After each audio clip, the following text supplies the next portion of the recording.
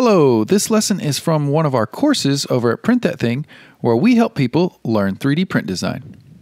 If you haven't already, you can get the free startup file to hack Blender for your 3D printer at ptt.live. Let's get to designing.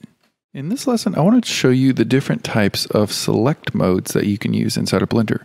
Usually, I just keep mine on the select box, but I want to show you all the different ones because you may find one that you like more than the others. There's no right or wrong but I uh, just want to show you what you got to work with.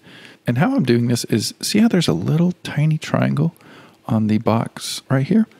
Uh, if you see that little triangle, like this one has it and this one has it, anytime you see that little tiny triangle in the corner, you can click and hold, and that will give you a few different options to choose from.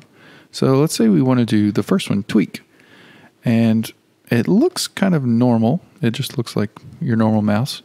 Uh, but say if we go into edit mode, tweak is going to let you just click on individual points and just kind of tweak them, you know, grab them. You can rotate them. So you can rotate them like that, or you could scale them individually.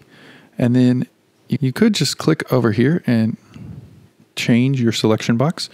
But what I do is just hit W on the keyboard, and that will actually cycle through all the different selection modes. Notice how I'm, while I'm hitting W, W, W, W, it's changing the different modes. So let's go to the second one, select box.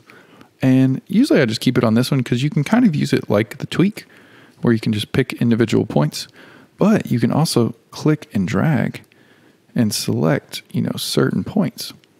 You know, so if you just wanted to select maybe the ear, you know, you can do that and that is the box drag. Or if you're in the side, like orthographic view, I just hit numpad 3.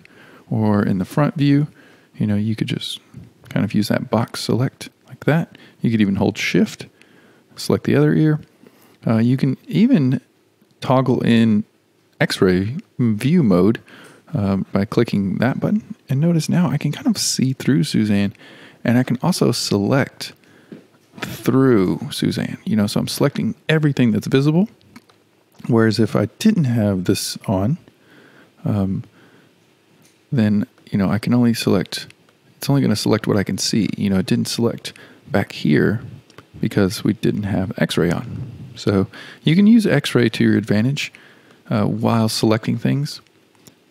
And a shortcut for X-ray mode is Alt Z. So you can toggle x-ray mode on and off with Alt-Z. That's very helpful. And if you ever select a bunch of stuff and you're like, oh no, I don't want all these, you can also always hold control and deselect. You know, take just while holding control, just like, you know, deselect anything you don't want. Another thing, if you want to deselect everything, is Alt A, and that will deselect all. Or if you want to select everything, just hit A, and that will select all. So A to select all, Alt A to deselect all. And now we're going to switch to the next selection mode. So just hit W. So now notice I have the circle select. And this is kind of like a paintbrush. So think of this as a paintbrush. I'm going to turn X-ray off. And now you can just kind of glide around here.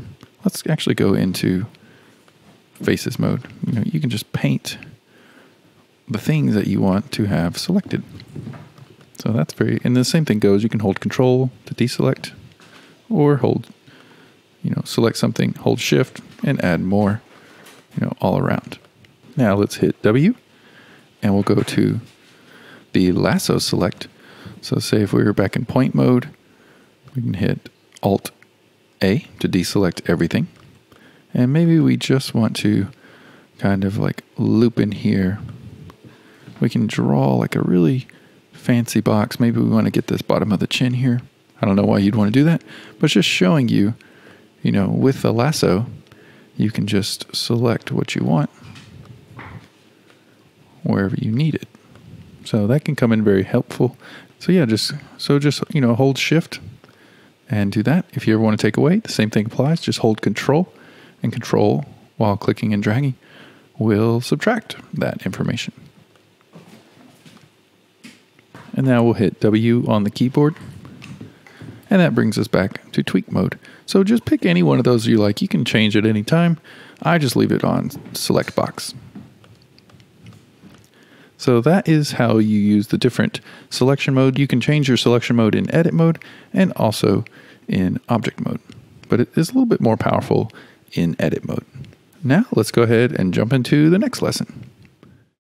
To learn more about 3D print design, visit ptt.live.